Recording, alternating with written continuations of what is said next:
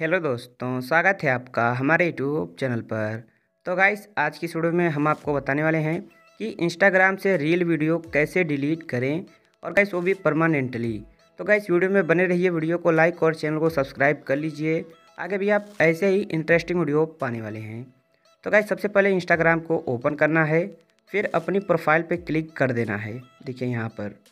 तो प्रोफ़ाइल पर जैसे क्लिक करेंगे, अब आप आ जाएँगे यहाँ पर। और यहाँ पर आने के बाद गाइस अब आपको क्या करना है?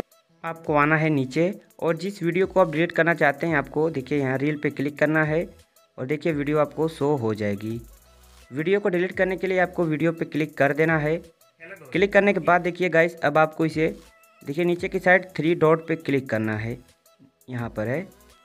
तो यहाँ पर क्लिक करने के बाद आपको डिलीट का एक ऑप्शन मिलेगा, इस पर क्लिक कर देना है।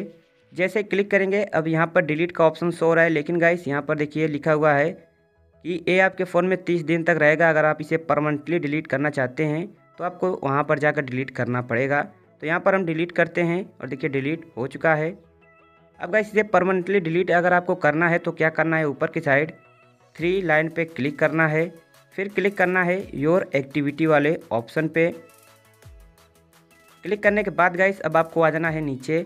और यहाँ पर एक ऑप्शन मिलेगा रिसेंटली डिलीटेड तो आपको रिसेंटली डिलीटेड पे क्लिक कर देना है। क्लिक करने के बाद गाइस आपको यहाँ पर रील का एक ऑप्शन शो होगा। इस रील वाले ऑप्शन पे क्लिक करना है। क्लिक करने के बाद आपको यहाँ देखिए वीडियो शो होगा, जो वीडियो आप डिलीट किए रहेंगे।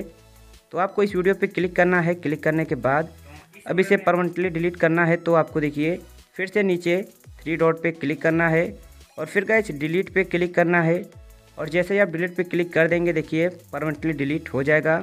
तो इस प्रकार गाइस आप इंस्टाग्राम के किसी भी रील को परमानेंटली डिलीट कर सकते हैं। तो आज के वीडियो में बस इतना ही। वीडियो को लाइक और चैनल को सब्सक्राइब कर लीजिए। थैंक यू दोस्तों। Have a nice day